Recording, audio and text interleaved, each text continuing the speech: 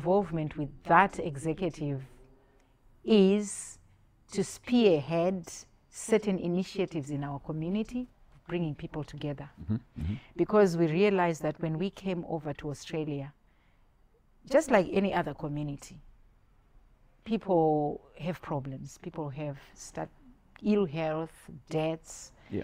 of the people themselves or family at home and so forth. So in those times we need support. So I spearhead the compassionate team. That is my passion. Right. The compassionate team which looks into the wellness of people. How are you? What's happening around you? Before you, you die, what's happening here? Mm, mm. Can we talk? Can we do things together? So we are really driving that so that in our local LGAs, um, in our local LGAs, we can build that community to say there are Zimbabweans in Liverpool, there are Zimbabweans in Camden, there are Zimbabweans in Penrith.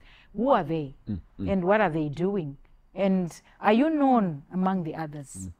Yeah. So that's that's actually what I, I'm, I'm I'm really pushing on doing. Beautiful. And then we are looking at having even bigger projects together so that we can be known as a community. What do Zimbabweans do?